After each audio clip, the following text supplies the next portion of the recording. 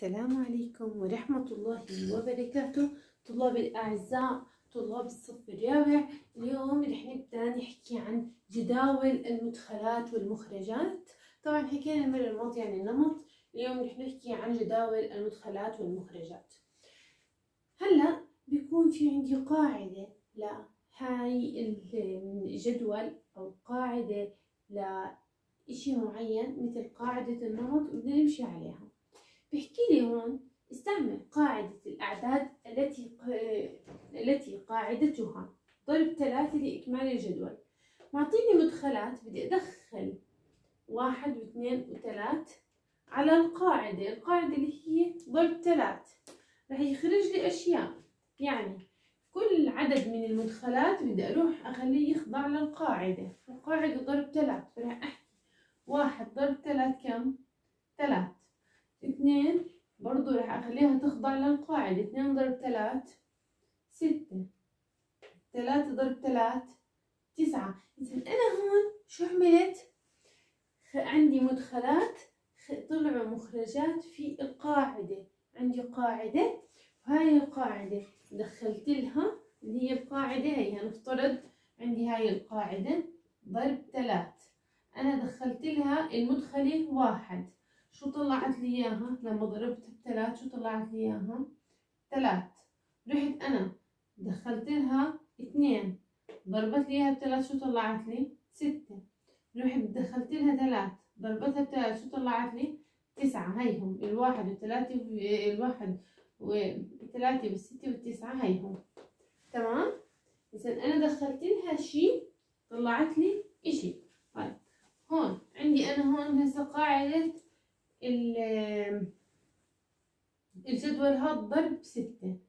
أنا هون عندي واحد اثنين وثلاث.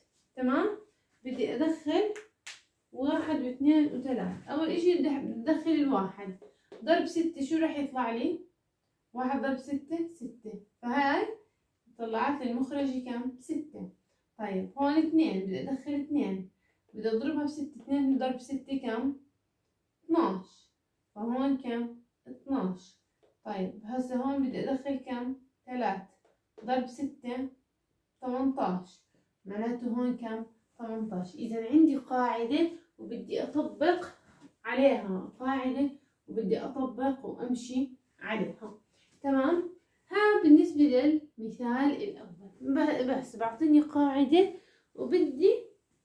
أضرب المدخلات فيها أو أطبق القاعدة على المدخلات. لو بحكي لي جمع أو طرح أو ضرب أو قسمة بطبق.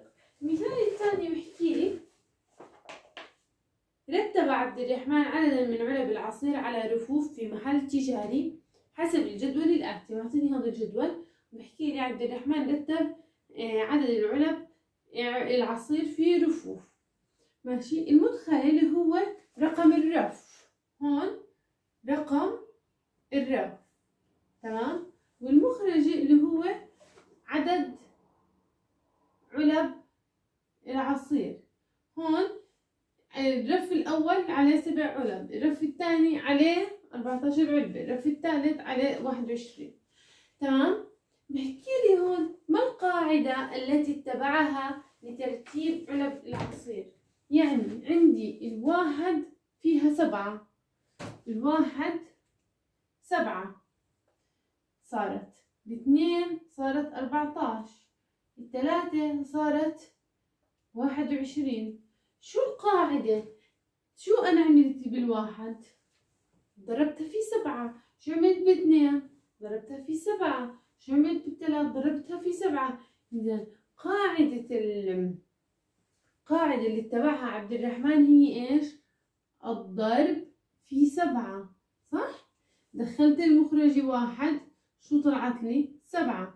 دخلت المخرج اثنين اثنين ضرب سبعة أربعتاش. دخلت ثلاث ضرب سبعة. واحد وعشرين دخلت أربعة ضرب سبعة. ثمانية وعشرين. إذا أنا هون عندي قاعدة النمط. الضرب في العدد سبعة. هاي قاعدة النمط. الضرب في العدد سبعة. طيب. بيحكي لي ما عدد العلب الذي سيضيفها على الرف السادس إذا استمر على النمط نفسه الرف السادس شو راح أعمل؟ السادس ستة ضرب سبعة لكل مرة أنا بدي أضرب بسبعة بدي أدخل المدخلة وين؟ في القاعدة القاعدة هي كم؟ ضرب سبعة ويساوي كم؟ اثنين وأربعين علبة اثنين وأربعين علبة تمام؟ هون إذا الدرس كتير كتير سهل وبسيط يا رابع. بحكي لي معطيني بيكون قاعدة وبده أوجد المخرجة. يعني بدي أروح أشوف المدخلة أطبق عليها القاعدة رح يوجد عندي المخرجة. أو بعطيني هو المدخلة بالمخرجة بحكي شو القاعدة. يعني شو أنا عملت هون؟ طبعا القاعدة لازم تنطبق عليهم كلهم. يعني هون ضربت بسبعة وهون ضربت بسبعة وهون ضربت بسبعة وهون ضربت بسبعة. على كل المدخلات تمام؟ بطلع لي مخرجة. المخرجات هدول. هلأ يعني الموضوع رابع كثير بسيط وسهل. يعني ما بده إشي. هيك بنكون حكينا عن جداول المدخلات والمخرجات. يا رابع ويعطيكم العافية.